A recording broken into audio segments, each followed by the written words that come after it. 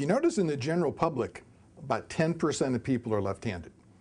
But in Major League Baseball through the years, 25% of players are left-handed, pitchers and hitters both.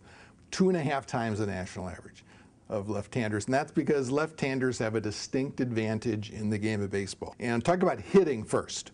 Uh, the first advantage they've got is that the left-handers are standing over here, where the right-handers are standing over here when they bat.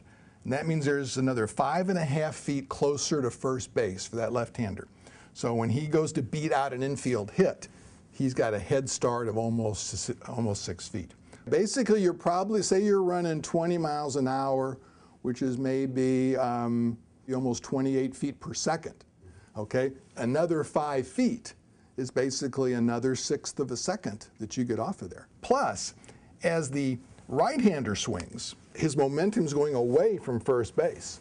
When the left-hander swings, he's going towards first base as he swings. His natural motion carries him this way as he's swinging. So he gets a head start and a head velocity. Now there's another issue though, has to do with the pitching. Now most pitchers, 75% of them are right-handed. That means their arm is coming from this way. The ball's coming like that. A right-handed batter is sitting here, that ball's coming almost over his shoulder. He's got to turn his head pretty far to see it. He loses some depth perception. It's coming this way. The left-hander is looking straight on.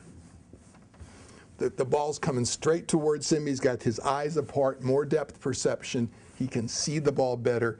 And that's why people switch hit. If it's a right-handed pitcher, they want to stand on this side so they can get a good view. If it's a left-handed pitcher, they're going to stand over here because that's even a bigger advantage than the head start to be able to see that coming on. And that's one of the reasons then left-handed pitchers have to come into the game to counter left-handed batters because then the left-handed pitcher can come over from the side. Um, another issue, lefty versus righty, is many ballparks, the right field porch is shorter than the left field. Again, because since most people were right-handed and they'd pull the ball more power that way, they'd make that field longer, make the right field a little shorter. Um, one more thing, since there's many more right-handed pitchers than left-handed pitchers, batters don't see left-handed pitchers as often. And that's true in other sports like boxing, too. A left-handed boxer, the other boxers haven't seen that as much. That gives a left-handed pitcher another advantage.